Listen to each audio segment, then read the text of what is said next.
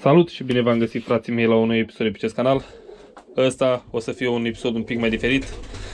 Nu luați în seamă zgomotul de pe fundal, fiindcă în camera alăturată sunt porumbei.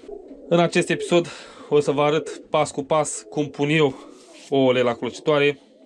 M-am hotărât să-mi fac din nou prepelițe, am mai avut în anii trecuți. Am cumpărat 120 de ouă de prepeliță, sunt aici toate și mai am și pe aici o grămadă. Așa am pus și în anii trecuți, când am avut prepeliție, tot la fel am cumpărat ouă, le-am pus la clocitoare. Din 100 uh, de ouă tura trecută am scos 74 de prepelițe, dacă mi-aduc bine aminte. Tura aceasta voi pune 120. Sper să scot tot 80-100 de prepelițe, dacă temperatura va fi ok și voi avea grijă cum trebuie de ele. Deci, primul pas. Am scos clocitoarea din cutie, clocitoarea a mai fost folosită. Prima dată, înainte să punem ouăle, luăm frumos niște șervețele cu niște spirit și trebuie dezinfectată la fiecare operațiune făcută. De câte ori puneți o la incubat, clocitoarea trebuie dezinfectată bine, bine, bine, bine, bine, ștearsă. Cel mai bine e să puneți spirit într-un puf din acela și să dați peste tot. Eu m-am uitat, dar n-am găsit niciun puf, așa că o iau frumos cu șervețelul, l-a șters bine, bine, toate componentele, inclusiv rezistența, tot dăm cu spirit, dezinfectăm. Chiar dacă ea a mai fost spălată înainte să fie băgată în cutie, cel mai bine pentru o e să fie dezinfectată bine. Ăsta este primul pas. Înainte de a pune ouăle.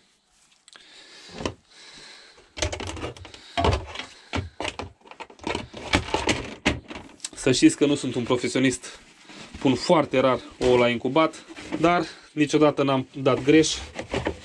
De câte ori am pus și am urmat pașii principali, mereu am scos puișor la plocitoare. Ca a fost de găină, ca a fost de rățușcă, ca a fost de gâscă, de prepeliță, toate au fost bine incubate și au scos o, în proporție de 70-80% din nou.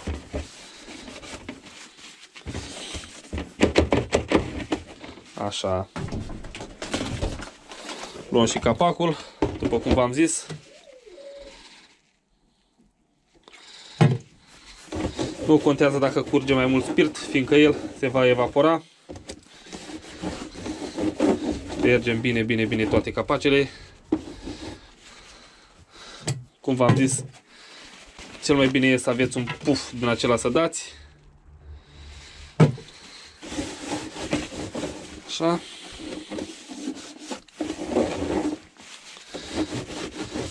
Nu trebuie să exagerați foarte mult nici cu spiritul. Dacă clocitoarea a fost întreținută bine și spălată după fiecare utilizare, dați doar așa, de dezinfectare, nu de curățare. Cel mai bine, înainte de a pune mâna pe ouă, tot așa să vă dezinfectați pe mâini.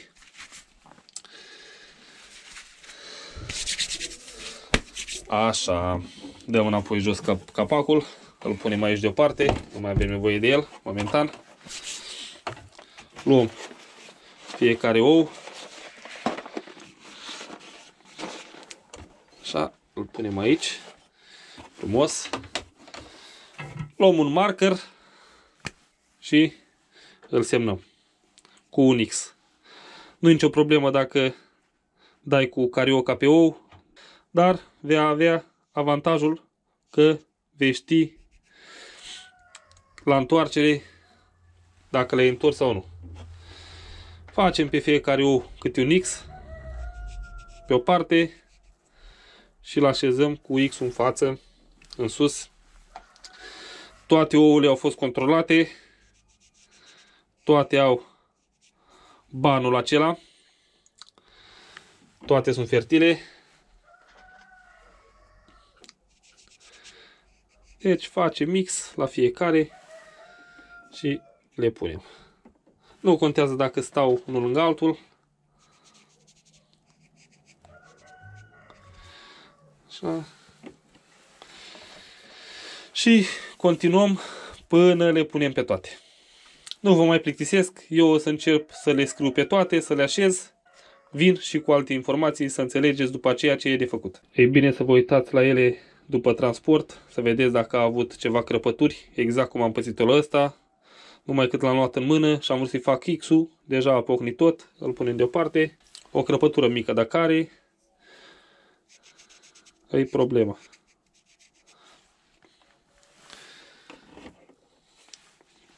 Le numărăm pe urmă, după ce le punem.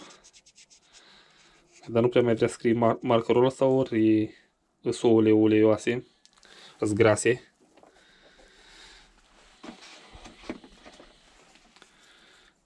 Acesta, cum arată el, este un nou de prepeliță tânără de anul trecut. Fiindcă are forma asta lunguiață.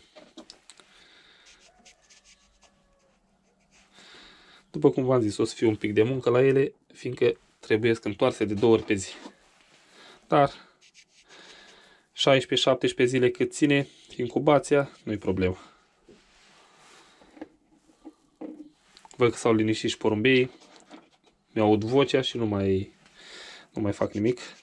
Au început și ei să, să bată la cuibar și să, să facă o S-au împerecheat puii de anul trecut nu prea îmi convin mie cum s-au împerecheat, dar îi las așa momentan. Vedem ce, ce rezultate au. Uitați, încă un nou crăpat. Și cât e de mare. Are coada, coaja foarte subțire. Această prepeliță a avut deficit de calciu. De aceea coaja a pocnit așa repede. Nu-i coaja tare cum sunt la astea. Dar și eu cine bun să direct pe negrea la asta am dat cu, cu markerul, să nu mai văd nimic. Dar să observ. Ele o să mai răsugulească acum un pic, dar până la final o să fie totul bine. Incubația se ține la 38,5 de grade, nu mai sus, nu mai jos, minim 38 de grade, maxim 38,5. Dacă sare de 38,5-39 și stă mult timp așa, ai ocazia să se clocească și să nu mai fie fertile. Aceste, aceste clocitori nu sunt profesionale, trebuie stat cu ochii pe ele exact ca pe butelie, verificate de 4-5 ori pe zi, dacă nu mai mult, dacă aveți ocazia. Nu sunt ca cele profesionale, care își fac temperatura singure. Astea e bine să băgați și un termometru înăuntru în ele, chiar dacă are afișaj, nu dă corect, din câte am observat. E decalare de un grad 2 aproape. Și o decalare în aceasta e fatală pentru ou de prepilță. De fapt, pentru orice ou, nu neapărat pentru ou de prepilță. După ce scot ouăle acestea, vreau să bag ouă de rățuște. Au început rațele mele să facă ouă. Sper să strâng măcar 40 de ouă. Văd că fac câte 3-4 ouă pe zi. Nu vreau să treacă mai mult de 10 zile vechime de la primul ou. Așa că văd eu cum fac.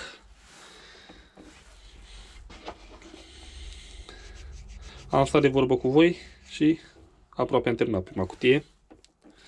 În prima cutie au fost două ouă Kix crăpate acele ouă au avut puțin calciu. De aceea s-au spart așa ușor. Nu contează cum le puneți cu vârful încolo, cu spatele încoa, nu contează. Doar să aibă un X pe ele, să știți cum le întoarceți.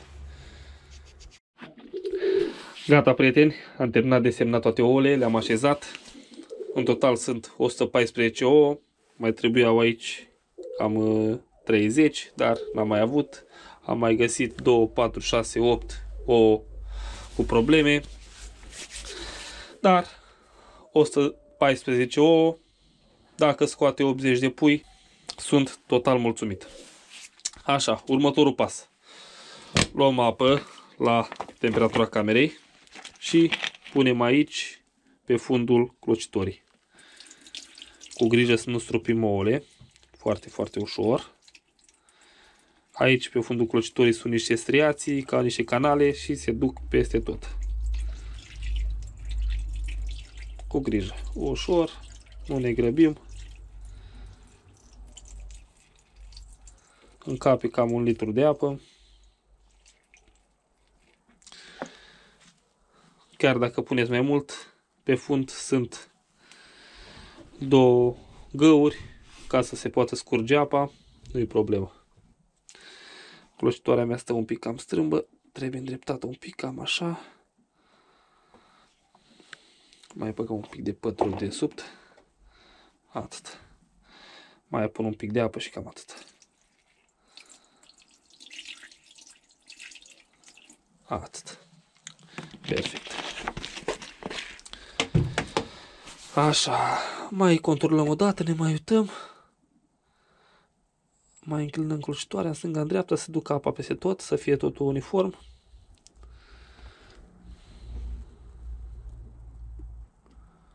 Cam așa. Bă, da, trebuie să o îndrept cumva, să mai bag un pic de pături de sub. Atât. Am mai îndreptat-o. Gata, fraților, totul e pregătit. Luăm capacul, îl așezăm. Aici sunt două guri cu două capace. Acestea, când trece de 38 de grade clocitoarea, 38 jumate, deschideți câte o gură din aceasta și o puneți lângă să mai iasă un pic căldura. Dacă nu, care știți, desfaceți și intrați cu o șurbelniță, dați câte grade are nevoie. Merge setată cum vreți voi. Dar, cum v-am zis, nu este o cloșitoare profesională. O să mai decaleze un pic între 1 și 2 grade. Diferența cel mai bine este să băgați un termometru înăuntru, să-l aveți permanent, numai cât îl scoateți, vă uitați la el, vedeți dacă aveți temperatura cât trebuie și totul va fi bine. A, să bag în priză. Gata, a pornit. A pornit și gradele. O verificăm peste o oră, să vedem ce temperatură are. Și am revenit la clocitoare, să văd la cât s-a stabilizat temperatura. Văd că s-a stabilizat la 37,6. Ea trebuie să se ridice la 38,5, între 38 și 38,5. Am mai pus jumătate de pătru pe ea, dar acum Uh, sunt mulți factori care, care influențează treaba asta la temperatură și ouăle sunt reci și apa pe care am pus-o este rece. Până se încălzesc toate, mai durează. E bine că a ajuns la temperatura asta de 37,6. În următoarele ore o să mai verific, să văd dacă se mai ridică, dacă nu, o mai acopăr un pic. Am pătru aici disponibil, nicio problemă. Acum e acoperită cam jumătate. Cam asta e, fraților. Vă mulțumesc că v-ați uitat și la clipul ăsta. Nu uitați să băgați și voi butonul de like, să vă abonați, să mai vedeți clipuri. Poate învățați ceva de la mine și eu de la voi, bineînțeles. Ne vedem, pa, pa!